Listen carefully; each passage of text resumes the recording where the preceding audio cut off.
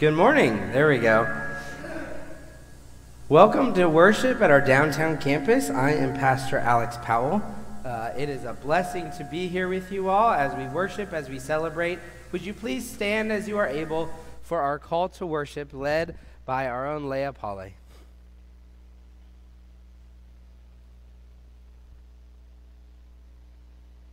We sing your praises in the vineyards of our lives. Where we have become rugged and wild, prune us in the way we should grow. Let your hand be upon us, leading us to Jesus, the perfecter of our faith. Heal the roots of our faith Bring us rain in drought, shade in scorching heat, and protection in the wilderness. Amen. Let us remain standing as we sing our opening hymn.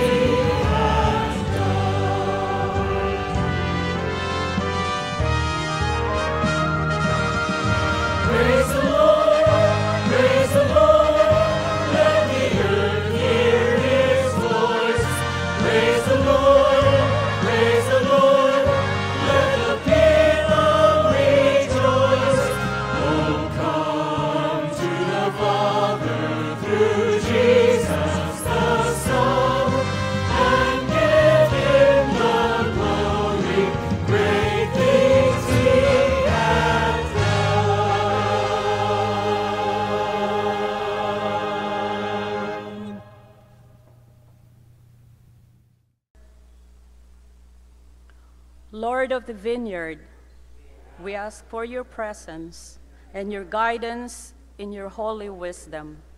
Tend the vines of our hearts. Teach us your righteousness, that our lives may flower with justice. Show us the way to discern your will, hear your word, and grow in your ways as we deepen the roots of our faith through your Son, Jesus. Amen.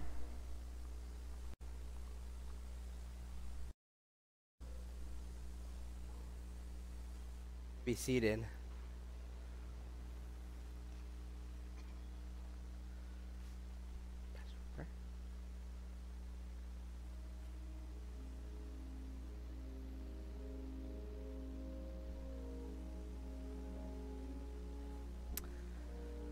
We're going to prepare our hearts for prayer.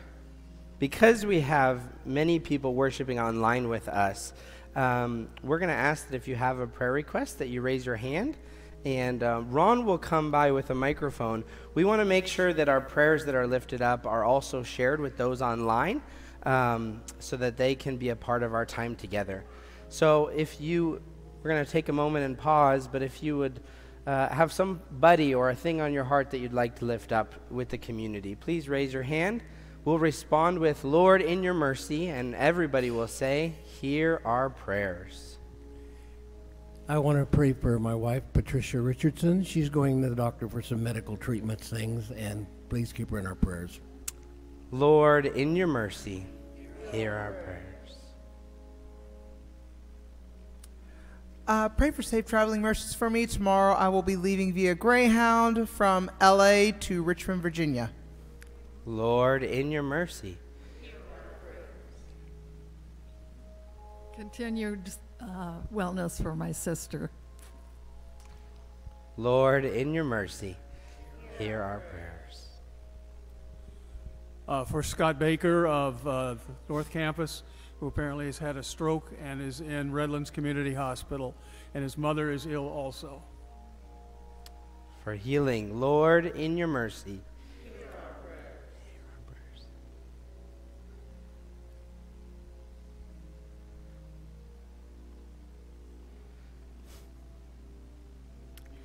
Any other prayer requests we'd like to lift up? To? I'd like to lift up my friend Alexa, who had breast cancer removed, but she's onto radiation. Um, and so we're lifting her up for continued uh, support and healing. Lord, in your mercy, hear our. Hear our prayers. Yes. My daughter's leaving to go back to Pennsylvania on Monday, and I wish her a safe journey for traveling mercies. Lord, in your mercy, hear our prayers.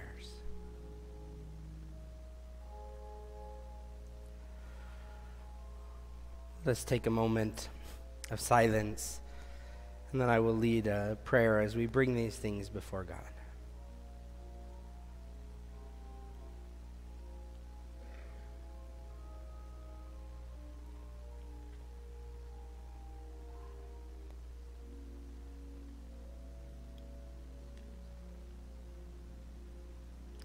Lord God, we come before you this day as a community,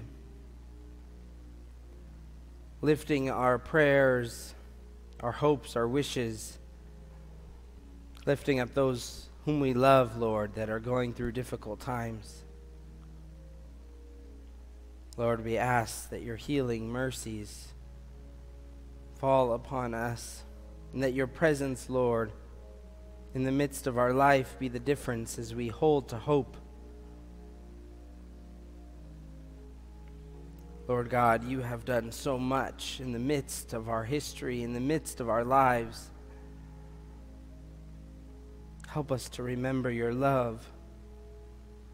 Help us to remember your grace and who you are, Lord.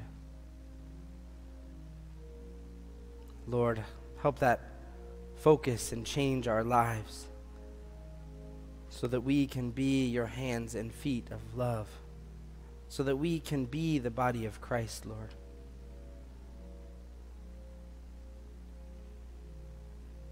Lord, help us to respond to your love with love. Help us multiply your love in this world. And help us, Lord, share your love with the world and the community that is seeking you.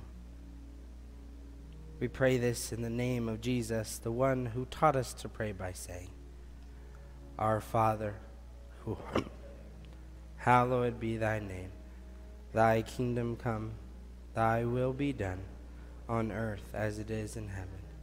Give us this day our daily bread, and forgive us our trespasses, as we forgive those who trespass against us. And lead us not into temptation but deliver us from evil. For thine is the kingdom, and the power, and the glory forever.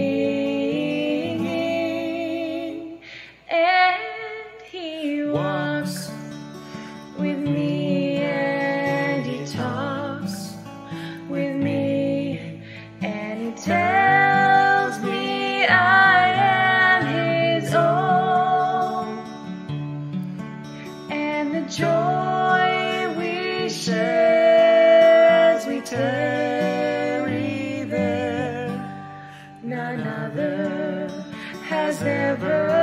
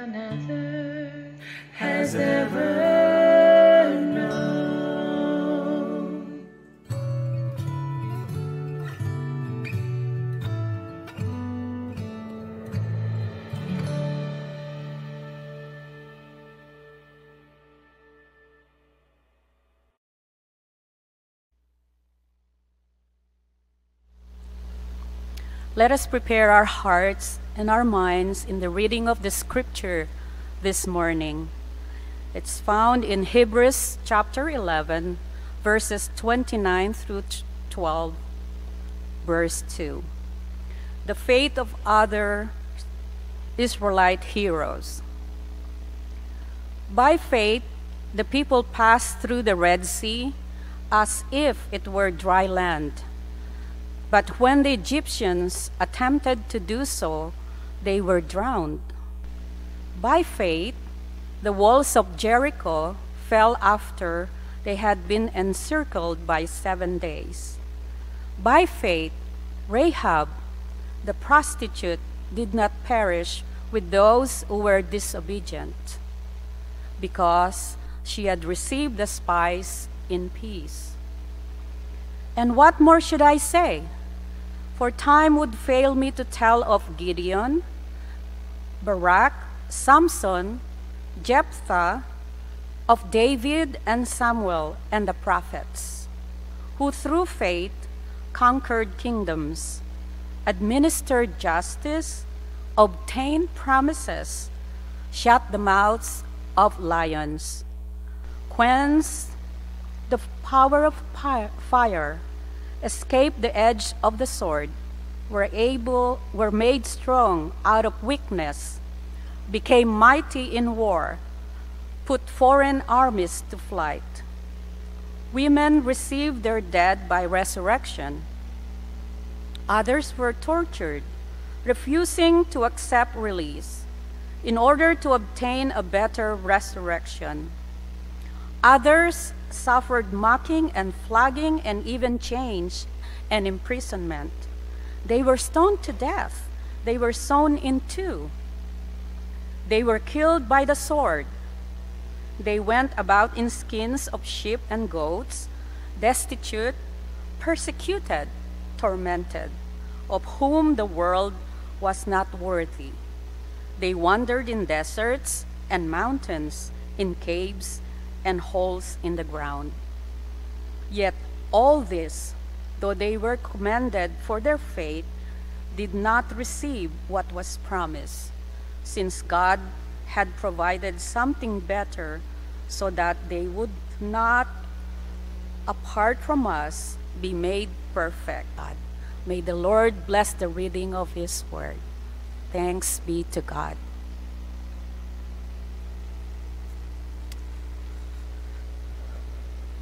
What is your favorite Bible story?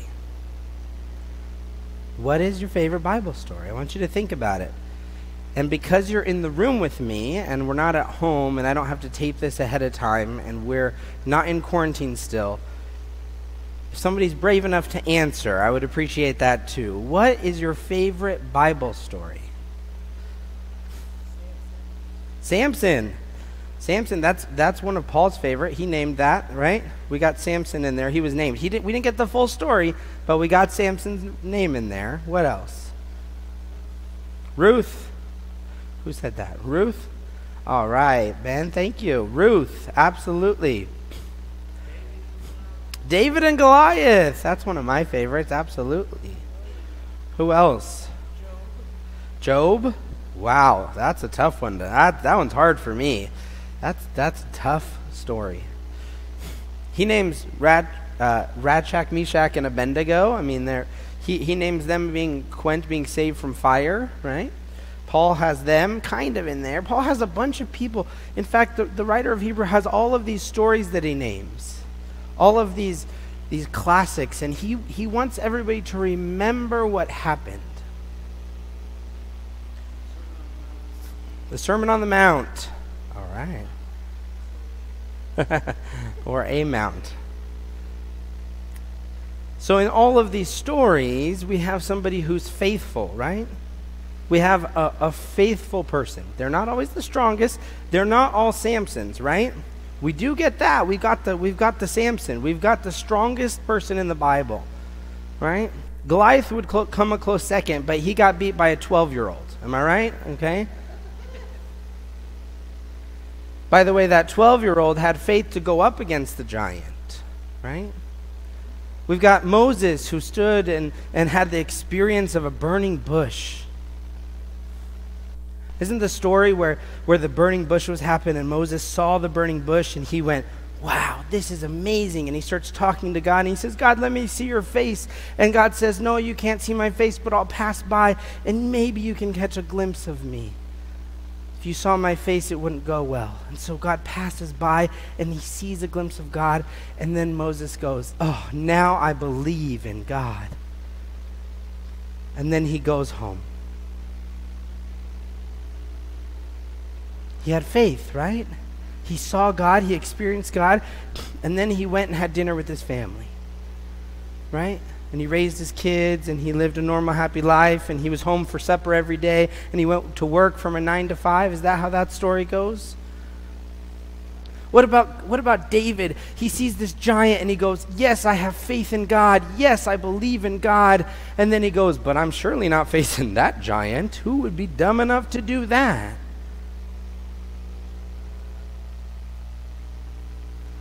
Or Shadrach, Meshach, and Abednego. My favorite because I love saying their names. Okay, that's why they're my favorite. Shadrach, Meshach, and Abednego.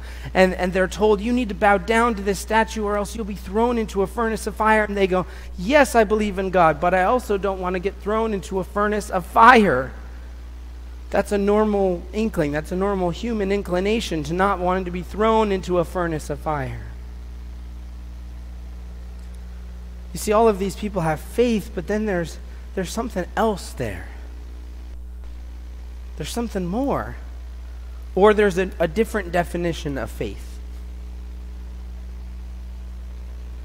Oftentimes, when we talk about God, when, when, when we talk about God in our modern context, we talk about faith. And we talk about faith in a way, usually with the name of Jesus. The name of Jesus is very important to people in faith. Now, I don't know, many of you may have been raised on Billy Graham. Many of you may have been have heard uh, many important sermons. Maybe you gave your your life to God at, at a big rally. Maybe you gave it in the midst of a, a, a you know hundred thousand people, or maybe there was a thousand people, or maybe it was at a church service. But oftentimes, when people proclaim their faith, they have to they say something right? Usually usually it's some some sort of statement right? Like i believe in jesus christ. Faith is stamped by the word by the name of jesus christ. Has anyone ever heard that before? Have you heard being? Yes? Is this sounding familiar? None of you know billy graham apparently. None of you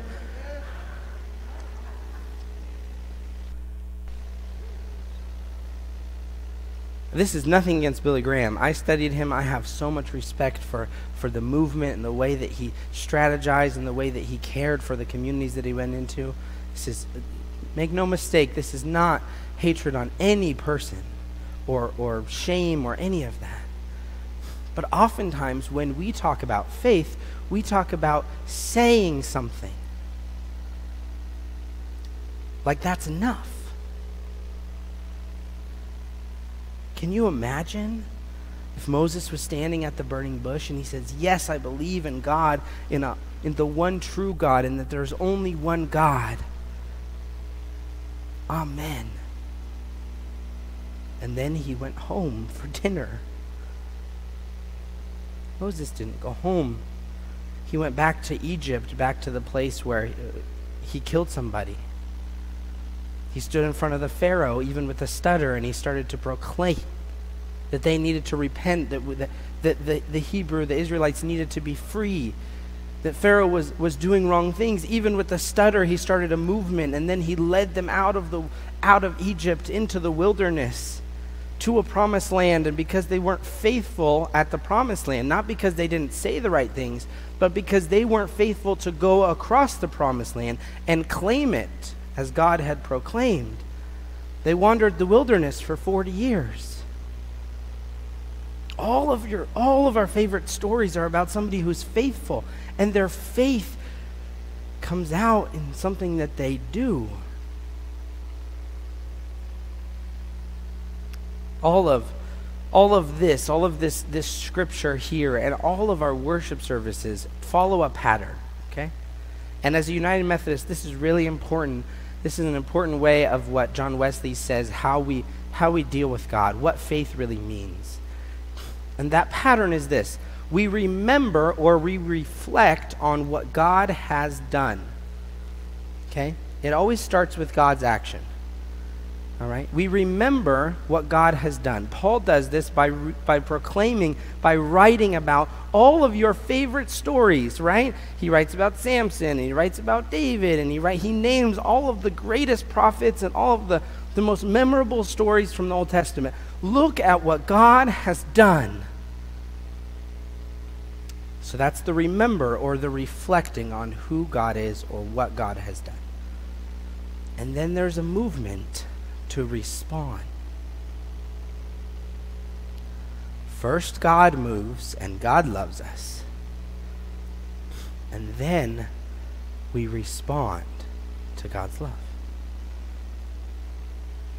This is how we set up our worship services, okay? We invite the Holy Spirit in. We talk about how great God is. We talk about God in our prayers, in our songs, in our hymns, we, in our opening words. We often invite God into the space, but we often remember. We, we remember what God has done. We get scripture and we reflect on who God is and what God has done. We remember and we reflect. And then there's a shift in the service in our service, the way that we built our service, okay, this isn't for everybody everywhere, but the way that we build our service, there's a shift to responding to God's love. That's why communion after the sermon. Usually baptisms after the sermon, unless it's a little tiny baby and the parents are really, really, really want it early on in the service. We respond that when we we start doing things, when we give our offering, when we when we say a benediction, we talk about going when we do our announcements, we do our announcements at the end of worship because we want to respond to God's love with action. They're not just events to show up to, they're ministries, they're ways for us to live out God's love because we reflected and we remember who God is and what God has done in our lives. So remember your favorite Bible story. Remember a person or a character in that story who's approached by God. God always seems to come first. They always know God ahead of time.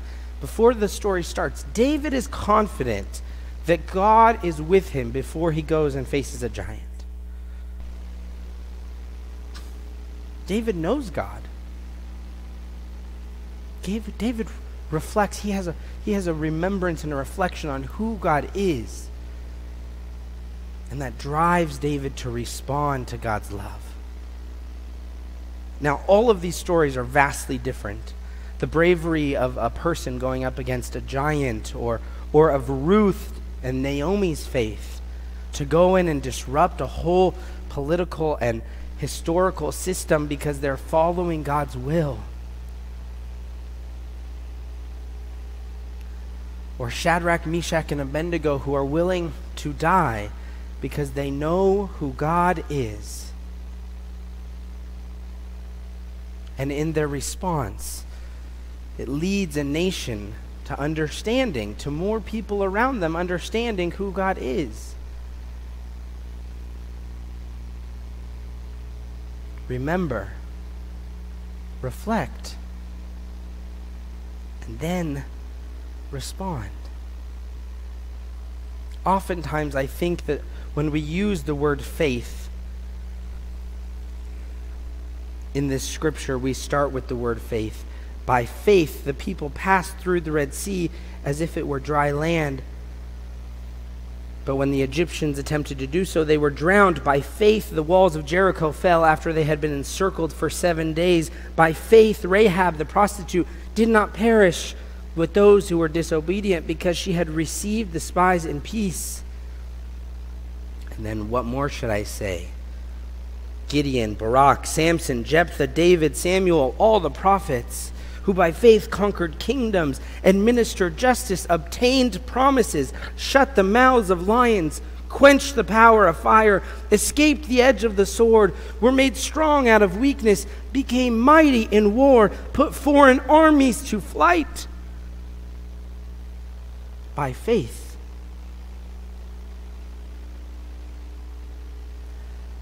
Sounds like a different word than I've been using. Often, when I talk about faith, I talk about knowing who God is. I just talk about the, the, the thinking of it all. I have faith in God. I can say that statement, and nobody says, Well, where did you administer justice? Where did you obtain promises? Where did you shut the mouths of lions then? Nobody responds in that way.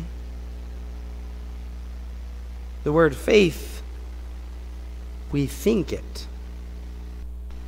You see, in our English language, we've separated our, our mind and our body. We've separated the things that we think and what we do as if those are separate things. And faith demands that they become one thing. That when we say we love God, when we pronounce our faith in God, when we pronounce things like our Creator, we have one God who created all the world and who loves us and who has overcome death, would require our bodies to move in such a way, to be witnesses of such a thing. Remember who God is reflect on the stories, the power of the Bible is that there's these wonderful, magnificent stories that talk about humans and God and, and define relationships and help us understand and explore who God is. Remember, reflect, and then respond. Respond with your whole life, with the way that you think, with the way that you act, with the way that you speak, as if those are all different things. In other languages, those are all the same things. In fact, in the Bible, when, when God speaks, it's, a, it's an action. It's a ver- the, the speaking, the words that come out are, ver- are, are things that happen.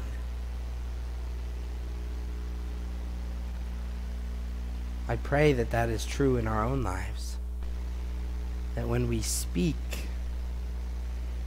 when the words come out of us, when our faith is revealed, even in the midst of our words, that our bodies respond in such a way that everyone around us can understand who God is and what our faith really means.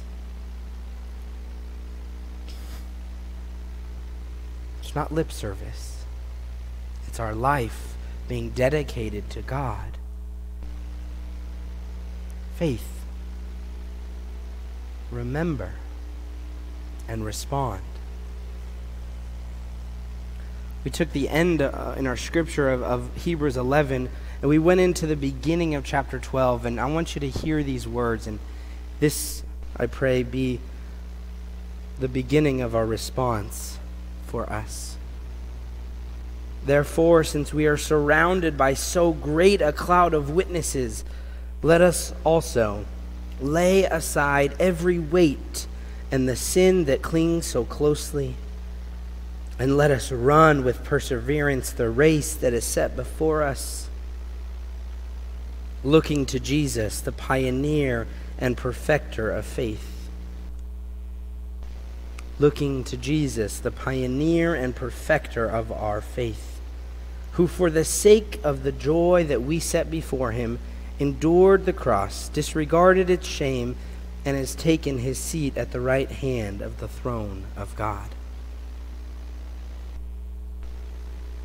power of Jesus is that Jesus shows us who God is and shows us the ways that we respond to God's love.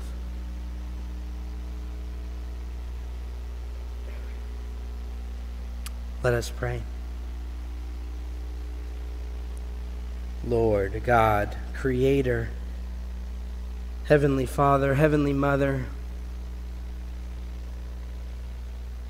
the one who came before all other things. Lord, your love is too magnificent to put into words. And yet, we know that you have been moving in our lives.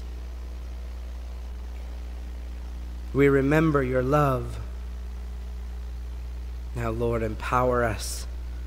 Give us your spirit to guide us and lead us,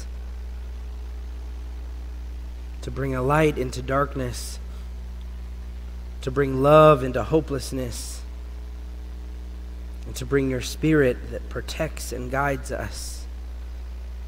Lord, empower us to respond to your love so that others may experience it too. We pray this in the name of the Father, Son, and Holy Spirit. Amen.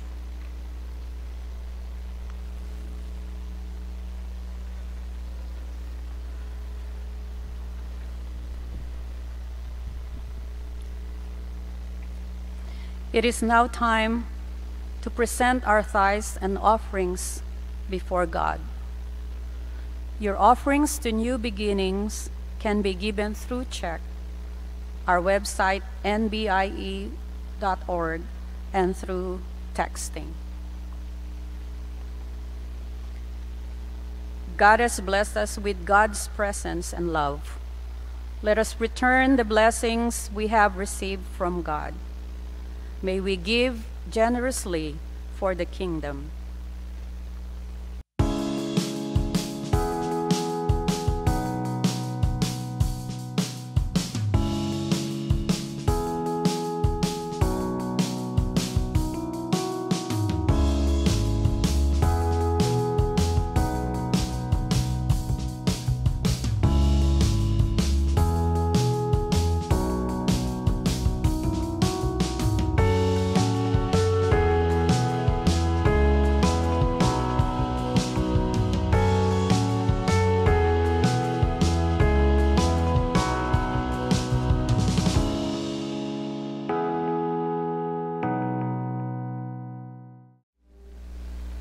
Us stand for the doxology.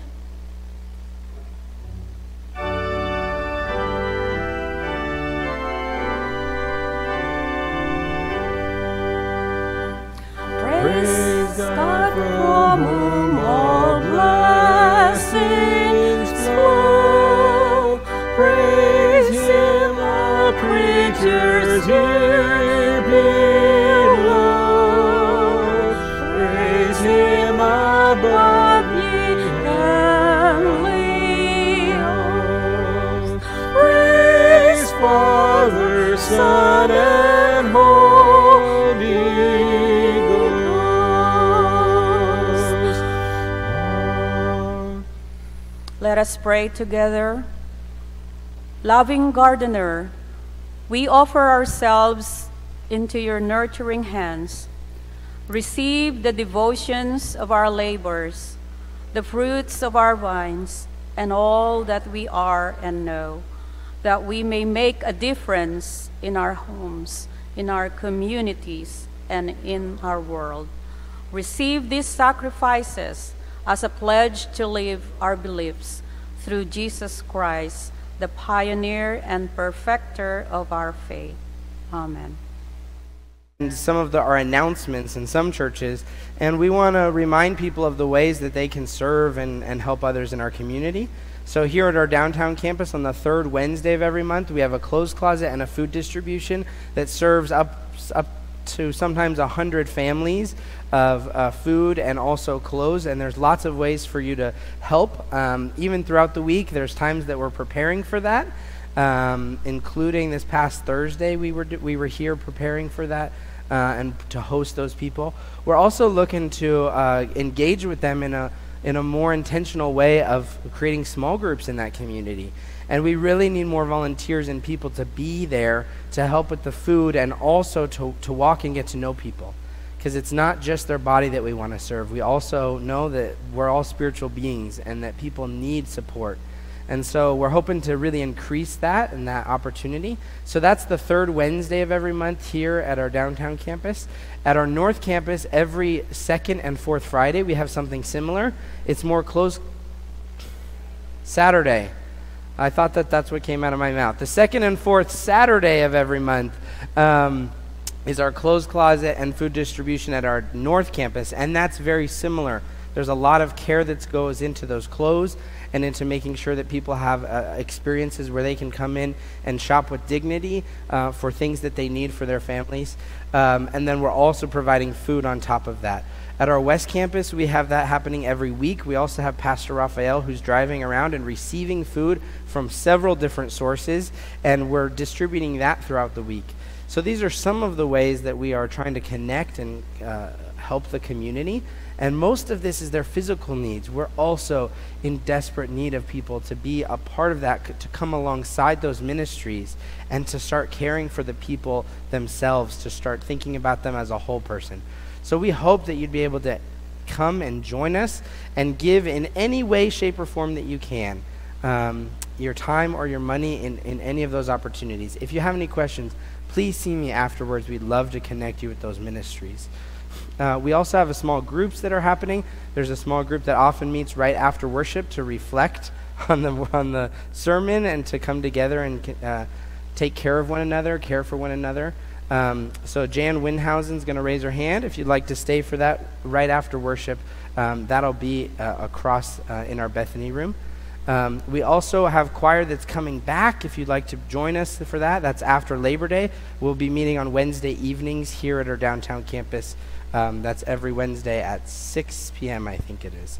Um, and that's after Labor Day.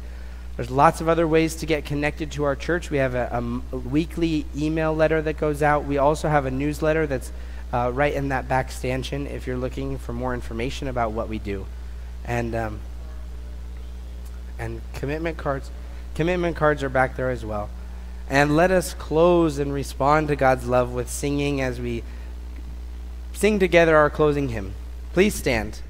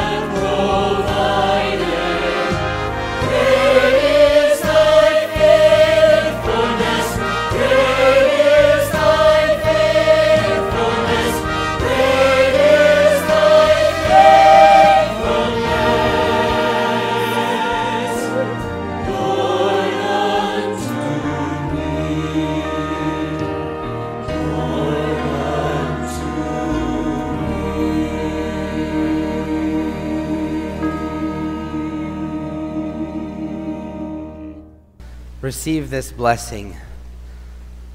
May it be known in your heart, in your soul, in all your life that God loves you. And let us respond with God's love to the world. Go now to love and serve the world.